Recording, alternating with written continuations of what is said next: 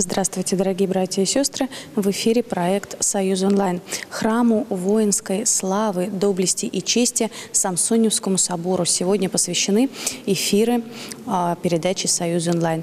И сейчас мы пообщаемся с клириком собора, с э, священником э, Георгием Беловым. Здравствуйте, батюшка. Доброго здоровья. А, Батюшка, это правда, что приходская жизнь вот буквально с момента основания, можно, если так выразиться, кипела здесь э, в соборе и до сих пор это продолжается? Вот расскажите об этом.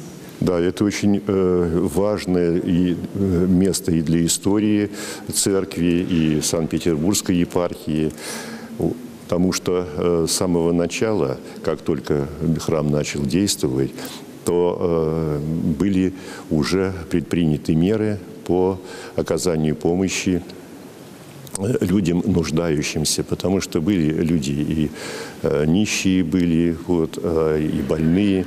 И поэтому э, уже в 1714 году была организована богадельня здесь, а а в 1722 году, в начале вот э, в 714 мужская, потом женская. Вот. э, И вот с этого э, периода началась эта вот э, история как бы вот этого социального, если можно сказать, служения здесь, э, в приходе Самсоневского собора.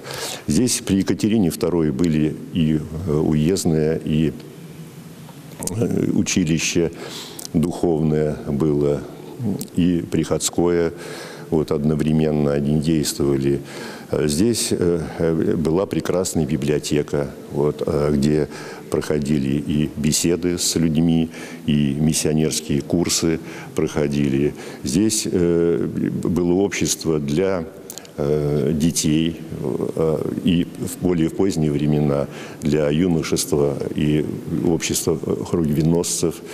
Э, Здесь, э, помимо всего э, прочего, э, те э, бедные люди, а- особенно вот эти дети, которые нуждались э, в образовании и помощи, они получали э, приходскую поддержку.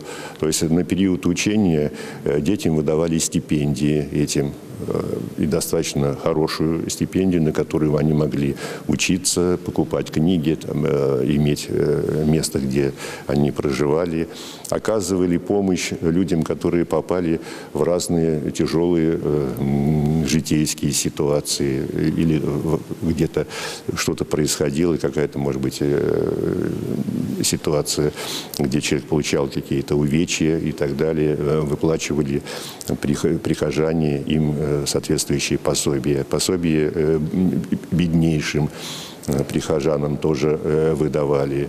Здесь было общество трезвости. Оно э, за 10 лет э, выросло до 25 тысяч людей. Это было второе по значимости в Петербурге общество трезвости, потому что первое было Александра Невская э, под руководством э, молодого э, в те времена священника Александра Рождественского. И э, здесь проходили очень э, э, большие как бы, дела, э, связанные вот именно с просвещением людей, с э, тем, чтобы помочь им выйти из вот этого э, тяжелого недуга. И были хорошие связи между э, предприятиями, на которых находились тоже храмы, и крестные хода совершались и так далее. Это э, было очень важное такое э, дело, которое совершалось тоже здесь, вот э, в соборе, в при его приходе. Спасибо, батюшка. И мы знаем, что э, этот э, храм заложен в честь победы в Полтавской битве. Э, она произошла вот в день памяти как раз святого Самсона Страноприимца. И помощь э, вот, неимущим и больным людям э, была, можно сказать, по примеру вот этого святого. Конечно, да, безусловно, потому что э, это и было в основе действия вот, э, прихода его э, дел, связанных с благотворительностью, э, социальным служением. Потому что, конечно, пример святого преподобного Самсона, он был э, ведущим. Вот, э, и вот то, э, что происходило э, в его жизни, как он относился к людям нуждающимся и так далее, здесь все было реализовано. Здесь принимал приход, люди православные принимали э, тех, кто действительно нуждался. И люди разного социального статуса, и были люди и не очень богатые, и люди э, состоятельные. Э, Это не э, делало никакого различия между ними. Каждый в меру своих сил, э, своих способностей, возможностей участвовал в жизни прихода. Спасибо, отец Георгий. Дорогие братья и сестры, а мы, съемочная группа Петербурга, Анастасия Лобода, Олег Сергушев, с вами ненадолго прощаемся.